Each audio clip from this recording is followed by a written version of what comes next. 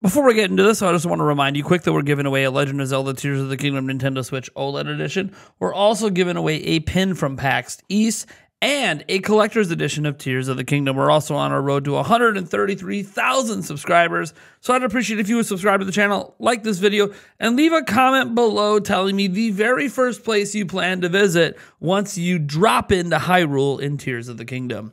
All right, guys. Oh boy, oh boy, oh boy. It's happening. Are you ready? We are getting a Treehouse Live for Tears of the Kingdom. This is so exciting, folks. We talked about in the past how they might do some sort of Treehouse Live and might market the game even more. And now they are. They are doing a Treehouse Live on May 11th, the day before Tears of the Kingdom comes out. How exciting is that? They just announced this over on their Twitter account, it says, Get ready, Legend of Zelda fans. We will be hosting a special live stream leading up to the Nintendo NYC midnight launch of Legend of Zelda Tears of the Kingdom. Tune in on 511 starting at 645 Pacific 9:45 Eastern to watch Nintendo Treehouse Live and more. This is pretty awesome and epic and amazing and does this alter my plans? That's the real question because I was originally planning to live stream myself at a midnight launch at GameStop picking up the game.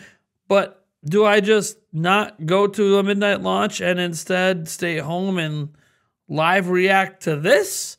Because after all, they are going live roughly in a couple hours before the game comes out. I mean, if we think about it, uh, it goes live at midnight Eastern time that we can play it, uh, you know, digitally. So they're going live about two hours and 15 minutes early. It kind of makes me feel like I probably should be uh, here live reacting to this because they're going to have a bunch of gameplay. It's a Treehouse Live. There's probably going to be interviews.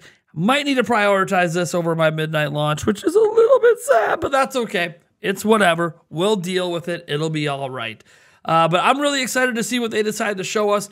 I'm presuming we're going to finally get a, an official look at the full opening cutscene and tutorial area and everything else in between. Uh, I, am so excited, guys. So I just needed to get this quick update video out to you super fast.